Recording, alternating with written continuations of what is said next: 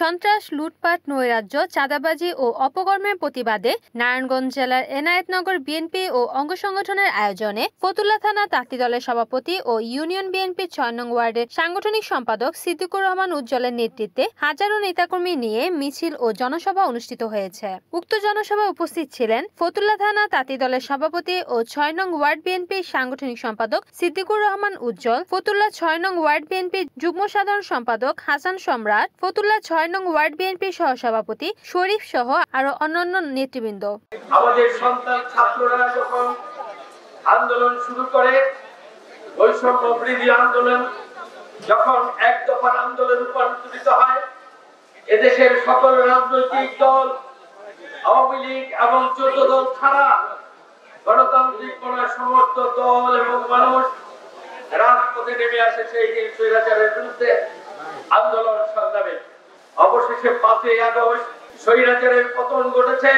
স্বৈরাচারী শাসক হাসিনা তার বোনকে নিয়ে দেশ থেকে পালিয়ে বাধ্য হয়েছে। দেশ সেদিন নতুন ভাবে আবার মুক্ত হয়েছে।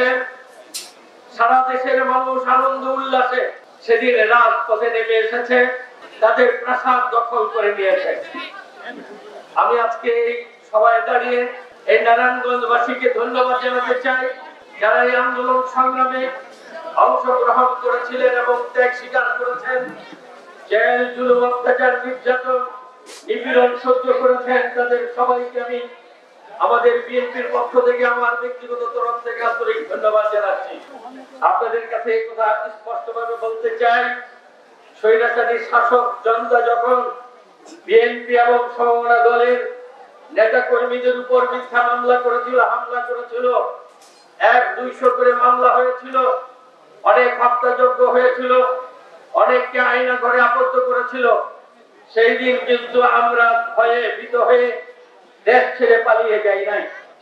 সেদিনও আমরা মুক্তিগামী মানুষের মুক্তি কোন দিন হবে, সেই জীবনকে বাজি রেখে আমরা রাজপথে আন্দোলন সংগ্রাম করেছি। গডফাদার পালিয়ে গেছে, তার সহযোদ্ধাদের, সহকর্মীদের, যারা তাকে শক্তি যোগাতো, যারা তাকে নেতা বানিয়ে নেতা আসলে বসিয়েছিল, তাদেরকে ছেড়ে সে চলে গেছে এমন নেতার পিছনে যারা কাজ করেছেন, ভেবে দেখেন আপনারা কত নির্ভুল ছিলেন, কত আপনারা বোকার সঙ্গে বাস করেছিলেন।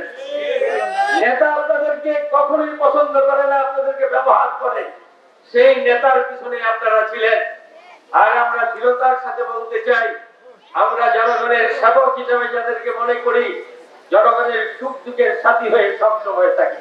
রিপোর্ট করেছেন সুমন ইসলাম এনএন টিভি নারায়ণগঞ্জ।